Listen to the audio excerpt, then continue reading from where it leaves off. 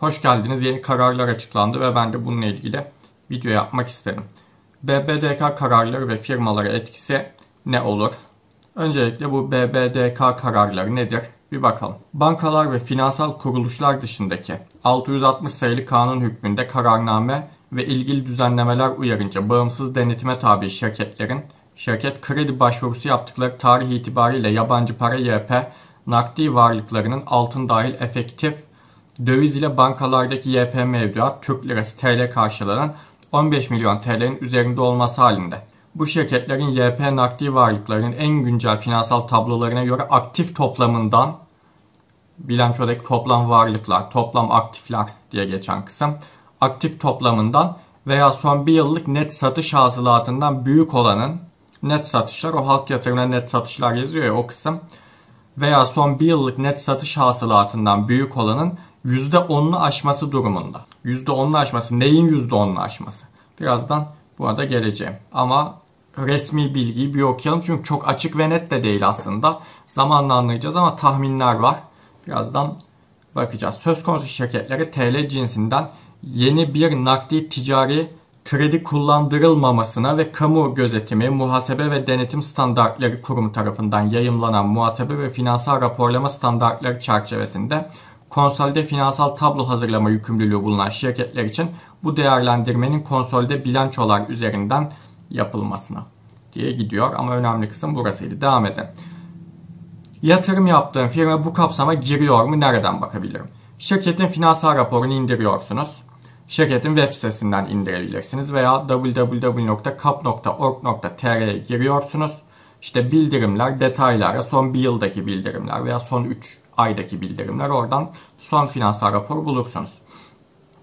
Ve önce toplam varlıklarına bakıyoruz. Sonra toplam varlıklarının onda birini hesaplıyoruz. İşte diyelim ki toplam varlıkları 20 milyar.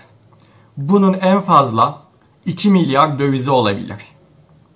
Dövizi nasıl döviz? Yani döviz cinsinden çünkü bazı firmalar var.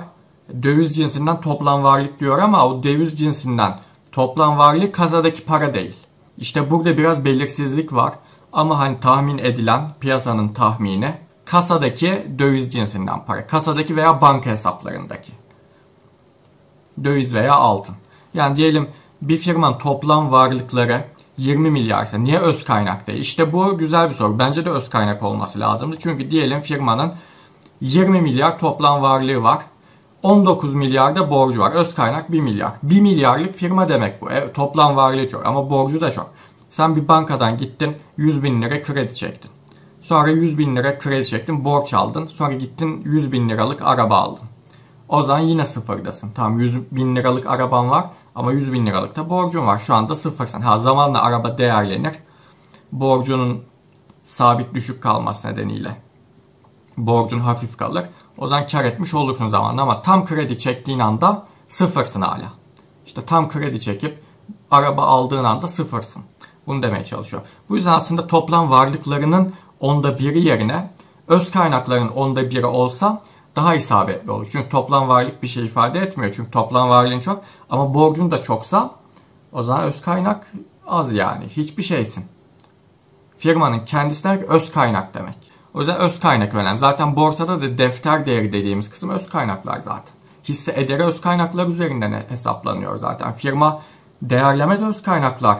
Çok etkisi var. Firma değerleme de öz kaynakların. O yüzden öz kaynaklar önemli. Ama burada mevzuat toplam varlıklar diyor. Yapacak bir şey yok. Burada bu kişilerin sözü geçiyor. Yapacak bir şey yok. Toplam varlıkların onda birini hesapladık. Sonra da finansal raporda şuna bakıyoruz.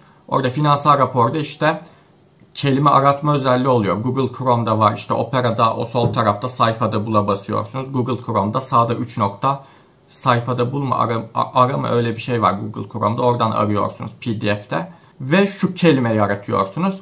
Parasal, finansal varlıklar. Ben aratmak istemiyorum. Tek tek bulmak istiyorum. O zaman nakit akışı kısmında bu olur. Ama nakit, nakit akışında da çok seçenek var. O yüzden bu direkt bu şeyi aratmak bana daha mantıklı geliyor. Parasal, finansal varlıklar. Bunu aratıyorsunuz. Eğer bu parasal, finansal varlıklar yani toplam varlıkların yani toplam aktiflerin hani bu mevzuatta toplam aktifler değerinden toplam varlıklar da aynı şey. ve bilançoda toplam varlıklar diye geçiyor bizim borsadakilerde. Parasal finansal varlıklar toplam varlıkların yani toplam aktiflerin onda birinden fazlaysa firmaya kredi verilmeyecek. Madem dövizin var o zaman Türk lirasıyla kredi yok sana diyor. Firma kredi kullanmak istiyorsa dövizini bozmak zorunda. Firmalar kredi kullanmazsa neler olur? O zaman nasıl yatırım yapacak? Yani kendi öz kaynaklarıyla ne kadar büyüyebilir? Yani sen diyelim işte ürününü satacaksın kar gelecek. O karla gidip yatırım yapacaksın. Bu yavaşlatır firmaları ama zaten bizim borsada agresif büyüyen firmalar var değil mi? Ve hem agresif büyüyüp hem de borçsuz olsun. Böyle bir şey mümkün mü? Hem geleceğin yatırımını yapsın hem böyle boyundan büyük işlere kalkışsın. Gelecekte kar patlamasını arttırmak için çok büyük yatırımlar yapsın ama borç da almasın, kredi de çekmesin. Böyle bir şey mümkün mü? E mümkün de zaten borsadaki yatırım yapan firmaların bilançolarını açın bakın. Kredi verilmezse ne olur? Yani işsizlik artabilir mesela çünkü büyüme yavaşlayabilir. Para daha değerli olur mu? Şimdi tabi bu bir tedbir ve parayı daha değerli yapmak için olan bir tedbir. Ama güveni sarsıyor mu? Çünkü paranın ederini güven de belirliyor çünkü. Yani evet bir taraftan parayı değerli kılacak bir hareket doğrudur. Ama bir taraftan da ülkedeki güveni azaltabilecek bir hareket. O yüzden net bir şey diyemiyorum. O yüzden dolar ile ilgili bir tahmin yapmıyorum şimdilik. Şimdi dolar yükselecek de demiyorum, düşecek de demiyorum. Kısa vadede, ha, orta uzun vadede zaten ne olacağını biliyorsunuz. Yani bu hafta dolar ne olacak? 1-2 haftalık bir tahmin yapmıyorum. Yani 1-2 haftalık bir tahmin yapmıyorum şu anda ama tabii ki birkaç ay sonrası yani faizler artmadığı sürece dolar düşmeyecek yani. Bu tüm dünyadaki finansal piyasalara göre, tüm dünyadaki bilimsel ekonomi verilerine göre bu böyle. Mesela bir ana anlatayım size. Geçen Crown diye bir dizi izliyordum. İşte şey anlatıyor. İngiltere'deki Queen'in, Kraliçe Elizabeth'in hayatını anlatan bir dizi. Orada ya 3. sezon ya 4. sezonda ama 3. sezon muhtemelen şey vardı. Demir Lady vardı. Margaret Thatcher. İngiltere Başbakanı o zamanki. Ve diyor ki orada faizleri düşürmek istiyorsak eğer enflasyon düşürmemiz lazım. Yani böyle faizleri düşür enflasyon düşsün. Bu dünyada hiçbir örneği yok bunun. Eşi benzeri yok. Bu yüzden dolarla ilgili orta vade hedefler geçerlidir. Yani doları düşürecek olan şey ülkeye yabancı yatırımcının gelmesi, ülkeye güven duyulması ve bunlar olmadığı sürece dünyada eşi benzeri görülmemiş mevcut ekonomi literatürüne, ekonomi bilimine aykırı hareketler olduğu sürece de yabancı yatırımcı gelmeyecektir. Bu karar döviz zengini firmaları nasıl etki eder? Şimdi döviz zengini firmalar tabi yatırım yapıyor mu? Yatırım yapmıyorsa eğer, hani çok büyük bir yatırımı yoksa dövizini bozmaz açıkçası. Dövizini bozmazsa bir etkisi olmaz ama e şimdi yatırım yapmayan firmanın hissesini almak ne kadar mantıklı? Çünkü bir kere ülkede enflasyon yüksek. O hisseler nedir? Türk lirasıyla. E, her şeye zam geldi. Hisse de artacak. Ama hisse öz kaynakları var. Bilmem kaç milyar öz kaynak. 50 yıllık firma. Öz kaynaklar yazıyor orada bilmem kaç milyar. Ve o milyar TL yazıyor. İşte ben 2008 yılında 100 bin dolar kar ettim. Orada o zaman şimdi 50 milyar TL yazıyor. 2008'de dolar şu kadardı. Şimdi bu kadar. O zaman ben o 50 milyar öz kaynağı dolar bazında değerleyip 100 milyar diye bilançoda göstereyim diye bir durum yok. Oradaki öz kaynaklar TL bazında kaldı. Ha, yeni karlar tabii ki enflasyon ne olacak? Ama eski karlar Türk lirasında kaldı. Ve borsadaki hisse ederi tüm karları hesaplıyor. Ve 50 yıl önceki karı da bunun içine katıyor. Defter değeri öz kaynak. 5 yıl önceki karı da bunun içine katıyor. 3 ay önceki karı da bunun içine katıyor. Bu yüzden her şeyin fiyatı iki katına çıktı. Benim hissemin de değeri iki katına çıksın. Bu doğru bir mantık değil. Bu yüzden yatırım yapmayan, büyümeyen, geleceğin yatırımlarını yapmayan firmaların hissesini almak şu anki enflasyon ortamında bana mantıklı gelmiyor. Geleceğin yatırımlarını yapan, işte çok büyüyen, çok büyüme hedefleri olan ve döviz zengini firmalar bana mantıklı geliyordu açıkçası. Ama şimdi bu kararlar geldi. E şimdi ben de buradan özür diliyorum. Neden? Çünkü işte yatırımlar yapan, döviz zengini firmaları tanıttığım için şimdi dolar yükselecek diye gittik döviz zengine yatırım yapan firma aldık. Olan oldu. İşte.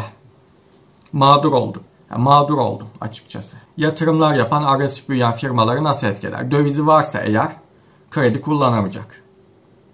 Kredi kullanamazsa nasıl büyüyecek? Nasıl agresif büyüyecek? Öz kaynaklarıyla Öz kaynaklarıyla nereye kadar büyüyebilirsin? Ve yatırım yapmadan, borç alamadan nasıl global bir oyuncu olabileceksin? Tamam Türkiye'deki tüm şartlar böyle diyelim. Türkiye'deki şartlar böyle. Ve Türkiye'deki şartlar böyle olunca diyelim tüm firmaları etki etti. E peki dünyada böyle bir durum yok. O zaman global bir oyuncu nasıl olacaksın? Yabancı ülkelerdeki firmalar cayır cayır krediyle borçlanıyor, büyüyor, öz kaynaklar tamam şimdilik değişmiyor ama o yeni yapılan yatırımlar çalışıp kar ettikçe öz kaynağını artacak. Nasıl artacak? Çünkü gittin para çektin, yatırım yaptın. Toplam varlığın arttı. Çünkü para çektin, borç aldın, gittin arazi satın aldın, fabrika kurdun. O arazi ve fabrika toplam varlıkları arttırır. Ha bunu borçla yaptın, borcun da arttı. Öz kaynak şimdilik değişmedi. Ama sonra o fabrika çalıştıkça, kar yazdıkça öz kaynakların artıyor. Ve kredi olmazsa bu nasıl olacak? Borç olmazsa bu nasıl olacak? Yabancı ülkelerdeki firmalar cayır cayır krediyle borçlanacak, büyüyecek, öz kaynaklar zamanla artacak. E bizim Türkiye'dekiler borç alamazsa, kredi çekemezse, yatırım yapamazsa, e bir de dövizi satıp oradan da zarar ederse bir de. Nasıl global bir oyuncu olacak? Yani iki seçenek var. Ya dövizi bozacaksın ya da krediden vazgeçeceksin. E şimdi bir firma hem döviz zengini hem de çok büyük yatırımlar yapıyorsa bu firmanın zarar edeceği kesin. Yani bu kararlardan zararlı çıkacak kesin. Döviz bazında borcu olan firmalar da var. Şimdi döviz bazında borcu olan firmaya dövizleri bozdurtmak istersin. Dövizi boz diyen yok. Kredi kullanmak istiyorsa dövizi bozacak. Kredi kullanmadan nasıl olacak bu iş? Yani firma ona göre planlama yapmış. Demiş ki işte 5 yılda kredi çekeceğim. İşte şu kadar borç ödeyeceğim. Bu kadar borç döndüreceğim. Para şöyle dönecek. Şu kadar kar edeceğiz. Bu kadar kar edeceğiz. Bunun planlaması yapılmış. Şimdi bir anda karar geliyor. Yani firma 5 yıllık bir planlama yaptıysa ve bunun içinde kredi olmaması çok az bir ihtimal. E şimdi tüm plan bozulacak mı? Ne olacak? Yatırımdan mı vazgeçilecek? Ne olacak? Şu an belirsizlik var. Ve Şimdi ben de birçok firmaya mail attım. Borsada hissesi olan bazı firmalara mail attım. Dedim ki işte bu kararlar nasıl etkileyecek? Döviz bozacak mısınız? Dövizi bozarsanız ne alacaksınız? Bunları sordum yatırımcı ilişkilerine. Bakalım cevaplar gelir mi? Gelirse bir video daha yapabilirim. Hangi firmaları etki etmez? Bunu da söyledim. Durumlar bu şekilde. Bu karar önemli bir karar. Hani ben eskiden mesela işte diyelim Merkez Bankası Başkanı Naci Ağbal değişti. Borsa piyasa çakıldı. Ama diyordum ki o zaman ya tamam sonuçta firmalar kar etmeye, büyümeye, yatırım yapmaya devam ediyor. İşte dolar yükseliyordu. E tamam dolar yükseliyor ama işte diyelim döviz zengini firmalar var. Bundan pozitif etkilenecek. İhracat yapan firmalar bundan pozitif etkilenecek. E, dolar artınca firmalar sattıkları ürünlere de zam yapıyor. Böyle böyle teselli olabiliyordum açıkçası. Ama şu anki kararlar bence önemli ve Tabii ki şimdi firmalar nasıl açıklama yapacak? Şimdi bilançolar bir buçuk ay sonra, bir ay sonra faaliyet raporları gelecek. Orada faaliyet raporlarında tabi bu kararlar yorumlanır, yorumlanabilir. Bazı firmaların faaliyet raporlarında bu konuyla ilgili açıklama yer alabilir diye düşünüyorum. Yani bu BBDK kararları nasıl yorumlanıyor firmalar tarafından? Bundan sonra nasıl bir strateji izleyecek firma? Yatırımlar ne olacak? Bunlar şu anda kesin bir şey diyemiyorum bu durumda. Yani kesin bir şey diyemediğim için belirsizlik görüyorum. Önümü göremiyorum şu anda Borsa İstanbul'da. Ve belirsizlik gördüğüm için şu anki durum eskisi gibi değil. Yani Naci Abbas sonrası e tamam piyasa çakılmış olabilir ama firma büyümeye devam ediyordu. Yatırım yapmaya devam ediyordu. Dolar yükseliyordu. Firma zaten döviz zengini. Ondan sonra sattığı ürüne de zam yapıyor dolar yükselince. Böyle böyle teselli olabiliyorduk. Neden? Çünkü firma yine iyi gitmeye devam edecek. Firmanın finansal durumlarında bozulma olmayacak. Buna inandığımız için. Ama şu anki durumda yatırımlar ne olacak? Döviz zengini firmaların dövizleri ne olacak? Şimdi kimileri diyor ki ya diyor döviz zengini firma dövizi bozmadan da kredi çekmenin bir yolunu bulur. Türkiye şartlarında zaten şu anda hala ayakta kalabildiyse o zaman bu kararı da aşar. Dövizi bozmadan da kredi çekmenin bir yolunu bulur diyenler var. Peki bilançoda dövizi göstererek yapması mümkün mü? Yani halka açık bir şirkette bunun finansal raporlarında bankadaki döviz aynen duruyor. Yani açık alenen açık açık duruyor. Bilançoda bu kısım gözükürken kredi çekmesi mümkün mü? Yatırımların devam etmesi mümkün mü? Bo bilançodan silsin. Bilançodan silerse dövizden kar yazması mümkün mü? Çünkü birçok firma dövizden epey kar yazdı. Öz kaynaklar epey arttı dolar yükselince. Kimi firmalarda, döviz zengini firmalarda. E şimdi bilançoda döviz gözükmezse, e dövizden kar yazamayacaksa ben neden bu hisseyi şey yapayım alayım? Ben zaten o döviz zengin diye aldım zaten. E döviz zenginliği muallaka girecekse o zaman o hisseyi almak mantıklı olmaz. Şimdi Şampiyonlar Ligi'nde değişmelere gideceğiz. Üzgünüm. Hatta Şampiyonlar Ligi'ne devam etmeye de bilirim. Şu anki durumlara baktığımda bir beklemek istiyorum. Yani bir bakalım bilançolar nasıl gelecek? Faaliyet raporlarında neler gözükecek? Firmalar nasıl açıklamalar yapacak? Yatırımlar devam edecek mi? Dövizler ne olacak? Dövizi bozsun. Ya dövizi niye bozsun? Dövizi bozmak zorunda. E neden bozmak zorunda yani? Firma isterse dövizini tutar, isterse döviz alır, isterse döviz satar. Yani serbest piyasa ekonomisinde bu böyle olmalı. E şimdi zamanda 128 milyar dolar satıldı. Dolar o zaman 7 liralardaydı. Şimdi dolar 17 lira. 128 milyar doların satılması iyi mi oldu?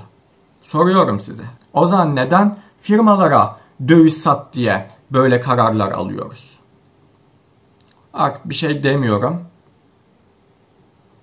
Ve dediğim gibi tekrardan yatırımlar yapan büyüyen döviz zengini firmaları size tanıttığım için de özür diliyorum. Böyle olacağını bilemedik. Ben de mağdur oldum. Üzgünüm.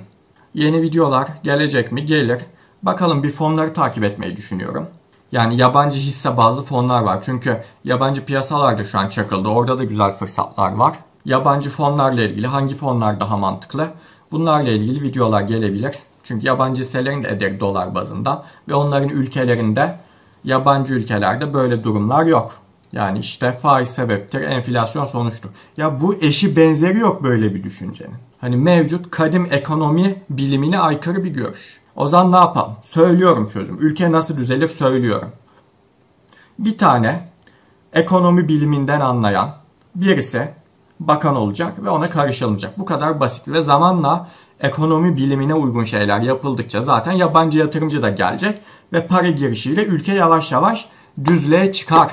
Bu kadar basit bence çözümü. Durumlar bu şekilde. Siyaset yapma diyenler oluyor. Siyaset yapmadan mümkün değil bazı şeylerin anlatılması. Çünkü borsaya direkt siyaset etki ediyor zaten. Siyasi kararlar borsaya direkt etki ediyor zaten. Siyaset yapma. O zaman sen de oy kullanma. Şu an cumhuriyet varsa, cumhuriyetin olması ne demek? Halk seçiyor demek. Halk seçiyorsa halk siyasete vakıf olmak zorunda demek. Siyaset yapma. O zaman sen de İran'a git. Siyaset yapmak istemiyorsan, düşünmek istemiyorsan, oy kullanabilecek kadar bile siyaset yapamayacaksan Türkiye'den git. Ben de sana bunu açık açık söylüyorum.